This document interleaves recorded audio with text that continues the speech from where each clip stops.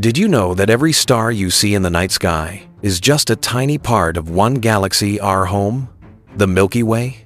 And believe it or not, we're only scratching the surface of its mysteries.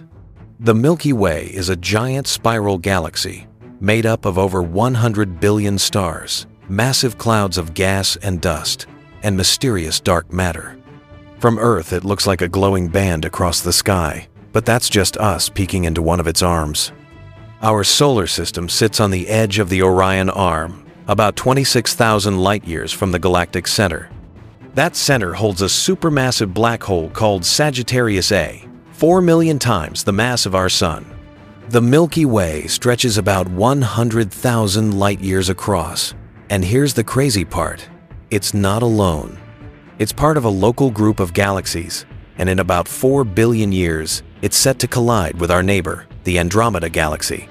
So, next time you look up at the night sky, remember, you're not just seeing stars, you're looking into the heart of a galaxy we call home. The Milky Way. Vast, mysterious, and still full of secrets waiting to be discovered.